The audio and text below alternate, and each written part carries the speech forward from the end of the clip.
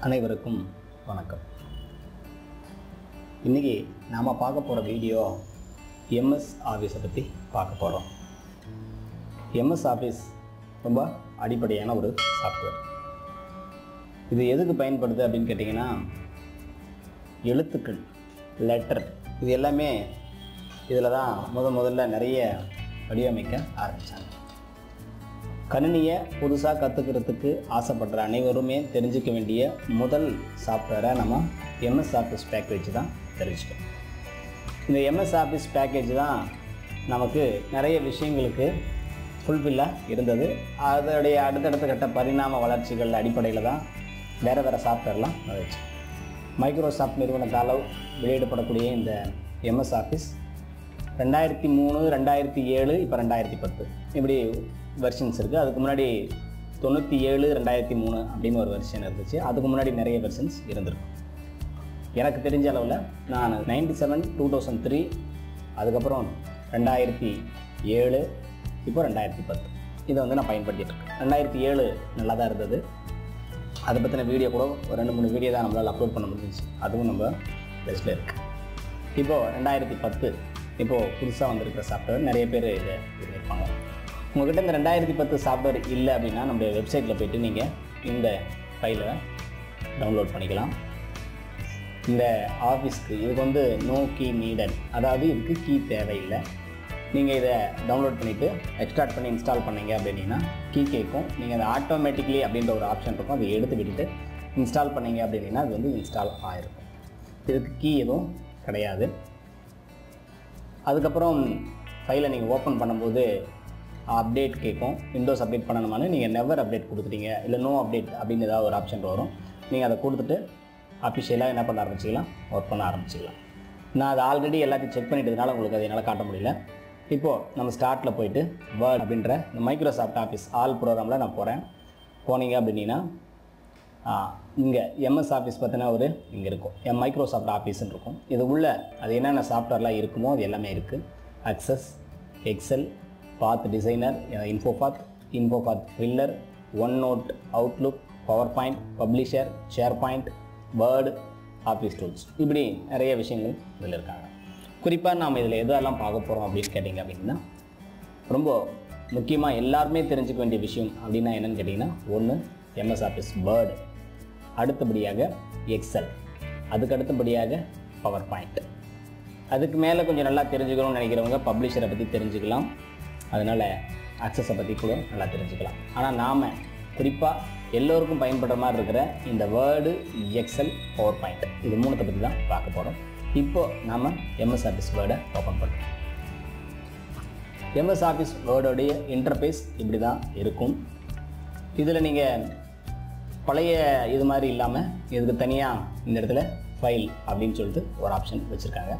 இந்த ஃபைலில் தான் எல்லாமே கிட்டத்தட்ட எல்லாமே இருக்கும். அது என்னென்ன எல்லாம் அப்படின்னு கேட்டிங்கன்னா ஒரு ஃபைல்னால் புதுசாக சேவ் சேவஸ் ஓப்பன் க்ளோஸ் அதை பற்றின இன்ஃபோ அதுக்கப்புறம் ரீசெண்டாக பண்ணோம்.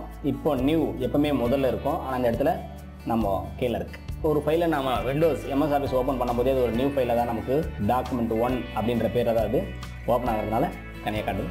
அதுக்கப்புறம் print save and send help option ஏதாவது தேவை இல்லை எக்ஸிட் இது எல்லாமே வந்து இந்த ஃபைலில் கொடுத்துட்றாங்க. இப்போது எக்ஸாம்பிளுக்கு இதை நான் கொஞ்சம் திரும்ப விளையாடுறேன் ஒரு டாக்குமெண்ட் இதுக்கு முன்னாடி இங்கே டூ தௌசண்ட் செவனில் இந்த இடத்துல இந்த ஃபைல்னு தராமல் ஆஃபீஸ் பட்டன் அப்படின்னு கொடுத்துருந்தாங்க இதை நம்ம அதை தான் வந்து பார்க்குறோம். இப்போ ஃபைல் மெனு இதை பற்றி தான் பார்க்குறோம். ஒவ்வொரு டைமும் நம்ம என்ன பண்ணுறோம் இந்த ஹோம் மெனுவில் என்ன இருக்கும்? இன்செட்டில் என்ன இருக்கும்? பேஜில் என்ன இருக்கும்? அப்படின்றத நம்ம பார்க்க போகிறோம் இப்போ ஃபைல் அப்படின்றதுக்குள்ளே என்ன இருக்குன்றதை தான் நம்ம பார்க்க போகிறோம் இதுதான் இந்த ஃபைல் இல்லைங்களா? இப்போ ஃபைலில் முதல்ல சேவ் இருக்குது அது எதுக்கு அப்படின்னு கேட்டிங்கன்னா இப்போது நாம் ஒரு வார்த்தையை டைம் டைப் படிக்கிறோம் இப்போது வளவன். வளவன் நம்முடைய ஆஃபீஸ் அட்ரஸ் அடிக்கலாம் சும்மா ஒரு address ப்ரூஃப்காக thirteen bar three second floor bypass road Ambur. ஆறு மூணு அஞ்சு எட்டு ஜீரோ எட்டு. Okay Vellore district Tamil Nadu okay இதுதான் நம்முடைய ஆஃபீஸ் அட்ரஸ் அப்படின்னு நம்ம டைப் அடிச்சிட்டோம். இது வந்து எங்கேயோ ஒரு பிரிண்ட் அவுட் எடுத்து இதுலேயே ஒட்டுறதுக்காக இது பயன்படுத்துகிறோம் அப்படின்னு நம்ம வச்சுக்குவோம். ஏன்னா இது ஒரு துராயத்துக்காக தான் நம்ம இது பண்ணுறோம் இது எல்லாமே இது வேறு என்னென்ன பண்ண முடியுன்றதை நம்ம அடுத்தடுத்த டுட்டோரியலில் பார்க்கலாம். நிறைய எளிமையான வழிமுறைகளை தான் வச்சுருக்கு இந்த எம்எஸ் ஆஃபீஸ் யாருமே ஈஸியாக கற்றுக்கலாம் ஒரு ஃப்ரெண்ட்லி யூஸராக இருக்கும். இருந்தால் கூட ஒரு சில விஷயங்களை சொல்லித் தரும்போது நல்லா புரிஞ்சிக்க முடியுன்றதுனால நம்ம என்ன பண்ணியிருக்கோம் இதில்? இப்போது டாக்குமெண்ட் ஒன்னுன்ற இந்த இதை நம்ம என்ன பண்ணுறோம் ஃபைலில் போயிட்டு சேவ் கொடுக்குறோம் சத்தில் சேவ் பண்ணணும் அப்படின்னு கேட்டணும் நீங்கள் கம்ப்யூட்டரை பற்றின முழுமையான விஷயங்களை தெரிஞ்சு வச்சுக்கணும்.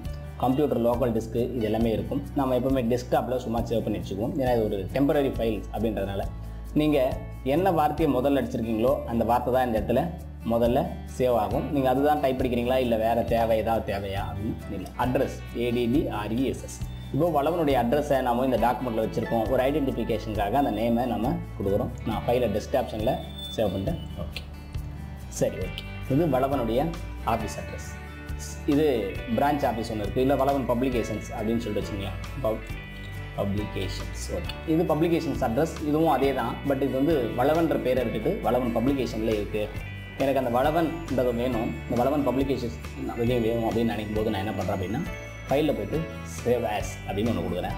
இப்போ இந்த இடத்துல வளவன் அட்ரஸ் இருக்கிற இடத்துல நான் என்ன பண்ணுறேன் வளவன் பப்ளிகேஷன் அட்ரஸ் நினைக்கிறேன் பப்ளிகேஷன்ஸ் அட்ரஸ் ஓகே இப்போ இதையும் நான் டெஸ்க்டாப்பில் சேவ் பண்ணிக்கிறேன். ஓகே டெஸ்க்டாப் செலக்ட் பண்ணிட்டு சேவ் கொடுத்துட்டேன். ஃபைலை நான் என்ன பண்ணுறேன் போயிட்டு க்ளோஸ் கொடுக்குறேன். இப்போ நம்ம ஒரு ஃபைலை க்ரியேட் பண்ணிட்டோம். அதை சேவ் பண்ணிட்டோம். அதை வச்சு இன்னொரு ஃபைலை சேவ் அசன் பண்ணிட்டோம். இப்போது சேவ் சேவ் அஸ்னால் என்னன்னு கேட்டிங்கன்னா நம்ம ஒரு ஃபைலை இப்போ ஓப்பன் பண்ணுறோம் நம்ம முதல்ல வளவன் அட்ரஸ்னு ஒன்று அடிச்சோம் பார்த்தீங்களா?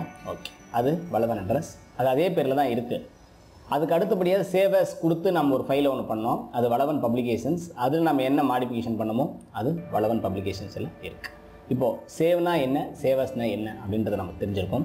இப்போது ஓப்பன் நான் சொல்ல தேவையில்லை. ஏன்னா இப்போ ரெண்டு ஃபைலுமே நான் என்ன பண்ணணும்? அதுக்கு தான் ஓப்பன். அதே போல் நம்ம ரீசெண்டாக என்னென்ன ஃபைல்லாம் யூஸ் பண்ணியிருக்கோன்றதவே இந்த இடத்துல காட்டுது. நம்ம வளவன் அட்ரஸும் வளவன் பப்ளிகேஷன் அட்ரஸும் இதில் இருக்குது அது போக நம்ம நிறைய என்னென்ன பண்ணோம் அது எல்லாமே இந்த இடத்துல டீட்டெயில் பழைய ஆஃபீஸில் இருக்கும். சரி ஓகே இது எனக்கு முடிஞ்சது. நான் இதை க்ளோஸ் பண்ணிக்கிறேன். எனக்கு ஒரு புது ஃபைல் தேவைப்படுது.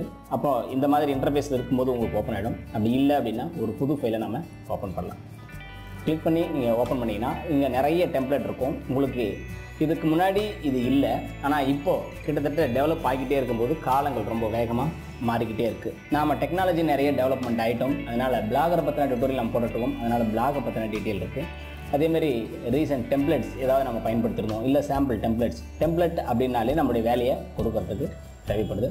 அதே போல் இங்கே அஜெண்டா இருக்குது அவார்டு இருக்குது அதே மாதிரி ப்ரௌச்சர்ஸ் இருக்குது பட்ஜெட்ஸ் இருக்குது இந்த மாதிரி நிறைய விஷயங்களில் வந்து இவங்க மெமோ லெட்டர்னு சொல்லிட்டு நமக்கு என்ன மாதிரியான வேணுமோ அந்த மாதிரியான ஒரு டீட்டெயிலை இவங்க ஆல்ரெடி ரெடி பண்ணி வச்சுருக்காங்க.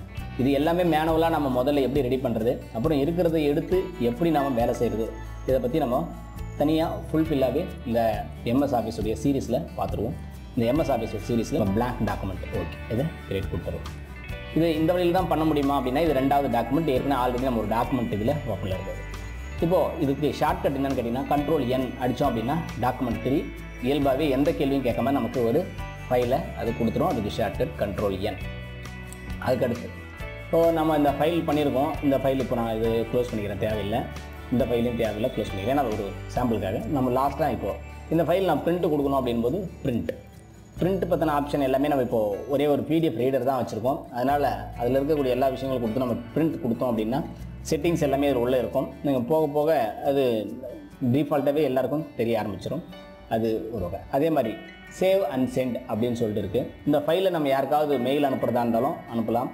அல்லது வெப்பில் ஏதாவது சேவ் பண்ணணும் அப்படின்னாலும் இது பண்ணிக்கலாம். இல்லை ஷேர் பாயிண்ட் இல்லை பப்ளிஷ் டு பிளாக்கு இந்த மாதிரி இதாக இருக்குது நாம் இது வந்து ஃபைரேட்டட் வெர்ஷன் நிறைய யூஸ் பண்ணுறதுனால நம்ம என்ன பண்ணுவோம்? இந்த மாதிரியான விஷயங்களை நாம் நிறைய எடுத்துக்க மாட்டோம். பட் இருந்தால் கூட இதை பற்றி நம்மளால் முடிஞ்சது ஆன்லைனில் நம்மளால் கனெக்ட் பண்ண முடியுதுன்னா இதை பற்றி கூட நம்ம என்ன பண்ணலாம்? இது பண்ணலாம். அதுக்கடுத்து ஹெல்ப் உங்களுக்கு ஏதாவது ஹெல்ப் தேவைப்பட்டால் இது உள்ளே போய் நீங்கள் எடுத்துக்கலாம். மேக்ஸிமம் இந்த ஹெல்ப்பை தான் நம்ம பண்ணிக்கிட்டு இருக்கோன்றதுனால நம்ம இதில் எந்த ஹெல்ப்பும் யூஸ் பண்ண மாட்டோம். ஆப்ஷன் இப்போ இந்த ஆப்ஷன்ஸ் எல்லாமே என்னென்ன இது எது எதுக்கெல்லாம் பயன்படுத்துன்றதை நம்ம ஒவ்வொரு டுட்டோரியலும் தனித்தனியாக பார்த்துக்கிட்டே இருக்கிறோம். டிஸ்பிளேனா என்ன வேணும்? ப்ரூப்பிங்னா என்ன வேணும்? இது எல்லாமே என்னென்ன இருக்கும் உள்ள? ஒவ்வொரு டைமில் எந்த இடத்துல மாற்றணும் லாங்குவேஜஸ் எப்படி இருக்கும்? இது எல்லாத்தையுமே நம்ம வந்து அடுத்தடுத்த கட்டத்தில் பார்க்கணும் ஒரு ஃபைல் மெனுவில் நம்ம பார்க்க வேண்டிய விஷயங்கள் எல்லாமே பார்த்துட்டோம். இதே போல் நிறைய விஷயங்களை நாம் இந்த வேர்டு சீரீஸில் அலசி ஆராய போகிறோம் எனவே தொடர்ந்து இணைந்திருங்கள். நம்ம சேனலுக்கு ஆதரவு கொடுத்த அனைவருக்கும் இந்த தருணத்தில் நான் நன்றி தெரிவிச்சுக்கிறேன். இனிவரும் டுட்டோரியல்கள் எல்லாமே உங்களுக்கு சிறப்பாக இருக்கும். சப்ஸ்கிரைப் பண்ணாதவங்க சப்ஸ்கிரைப் பண்ணிக்கோங்க. நம்ம ஃபேஸ் குரூப் ஃபேஸ்புக் குரூப்பில் இணையாதவங்க கீழே லிங்க் டிஸ்கிரிப்ஷனில் இருக்குது நேராக போய்ட்டு நீங்கள் நம்ம ஃபேஸ்புக் குரூப்லேயும் ஜாயின் பண்ணிக்கங்க. உங்களுடைய கருத்துக்கள் நம்ம என்னென்ன ஈவெண்ட்ஸ் எல்லாம் செய்கிறோம் என்னென்ன பண்ணுறோம் அப்படின்றத பற்றின எல்லா விவரங்களும் நம்ம ஃபேஸ்புக் குரூப்பில் இருக்குது அதனால் இது வரைக்கும் ஃபேஸ்புக் குரூப் ஜாயின் பண்ணாதவங்க கீழே இருக்கிற டிஸ்கிரிப்ஷனை பயன்படுத்தி ஃபேஸ்புக் குரூப்பில் ஜாயின் பண்ணுங்கள் நன்றி வணக்கம்.